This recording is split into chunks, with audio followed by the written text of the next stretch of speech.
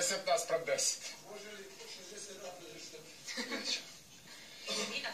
Lepo ste se borile, bile ste dobre do samog kraja, ali ovog trenutka jedna od vas dve mora da se vrati u realan život i napusti ovo divno mjesto.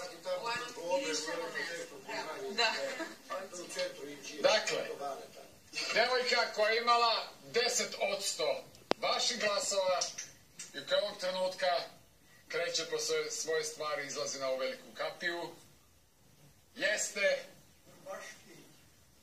Nena Popović.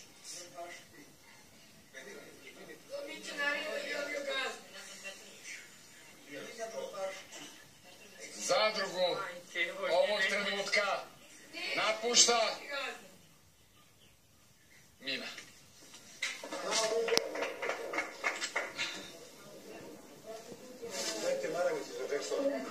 teglu. Samo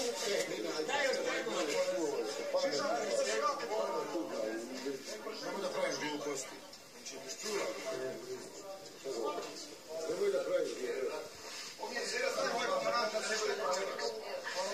Nemoj da pojma, stavite tu u.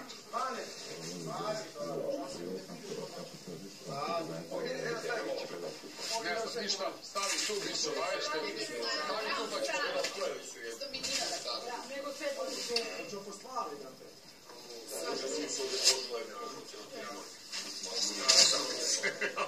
Morning.